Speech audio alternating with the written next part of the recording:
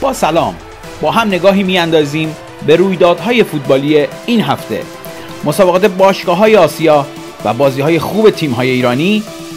آمدن ماتئوس برای پول یا جانشینی کیروش. رویانیان رابطه با بابک زنجانی و بازداشتم شایع است. باخت دو بر یک ایران از گینه در یک بازی تدارکاتی در روی اشتباه مسلم دانیال داوری. و اما هفته دوم پیکارهای لیگ قهرمانان آشگاه های آسیا با پیروزی خانگی سه بر دو طلایی پوشان سپاهان مقابل الهلال انجام گرفت.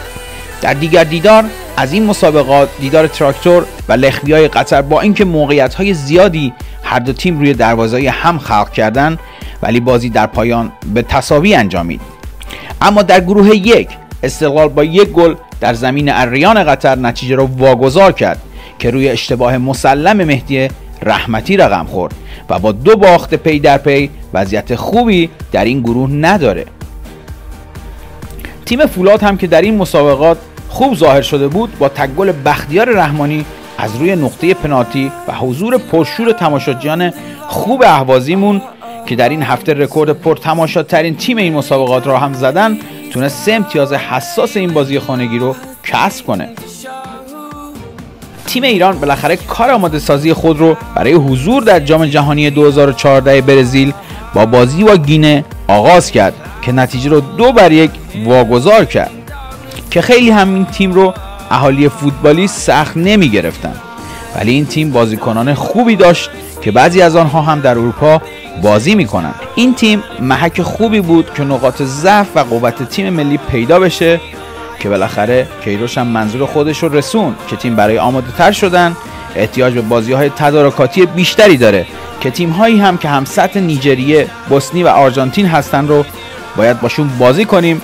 برای آماده سازی تیم کمک خواهند کرد. مثل اینکه پرسپولیس حالا حالا ها نمی‌خواد از حاشیه بیرون بیاد. این هفته خبر دستگیری مدیرعامل سابق پرسپولیس جنجال برانگیز شده بود. که در یک سایت خبری هم سردار از خودشون دفاع کردن و چنین گفتن. امیدوار بودم سکوتم پس از استعفا به پرسپولیس که روزهای حساسی رو میگذرونه کمک کنه. اما افسوس که کسانی هستند صحوی یا عمدی نمی‌گذارن پرسپولیس در آرامش باشه. شایعه کردن که من بازداشت شدم و با پرونده بابک زنجانی در ارتباط هستم. امیدوارم این آخرین باری باشه که به اتهامات دروغ پاسخ میدم. وقتی که یه بدهی رو یه دفعه 60 میلیارد تومن در دوران آقای رویانیان اعلام می‌کنن. خب این خیلی بده. مگه یه مدیر مثلا چجوری می‌تونه 60 میلیارد بدهکار باشه؟ با هم نگاهی میاندازیم به جدول لیگ باشگاه های آسیا.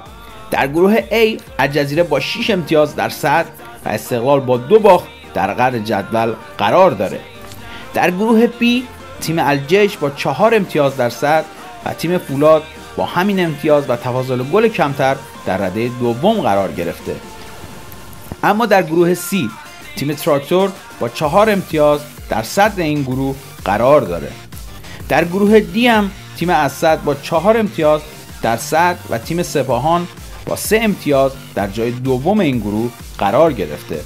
برای تیم های خوب کشورمان در این رقابت ها آرزوی موفقیت می‌کنیم. اومدن ماتئوس هم به ایران این هفته کماشیه نبود. بعضی می‌گفتن که برای جانشینی کیروش اومده و بعضی هم می‌گفتن پول خوبی به جیب زده.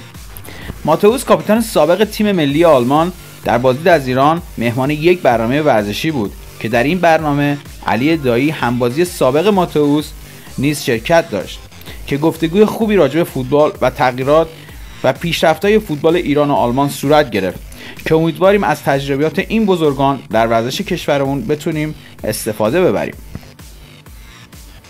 و اما در آخرین ردبندی ماه گذشته فیفا فهرست بهترین تیم‌های فوتبال جهان اعلام شد که ایران با چهار پله سقوط در رده 42 جهان قرار گرفت. ولی همچنان جایگاه خود را در صدر تیم‌های آسیایی حفظ کرده ولی در آخرین آمار ایران را ضعیفترین تیم جام جهانی اعلام کردند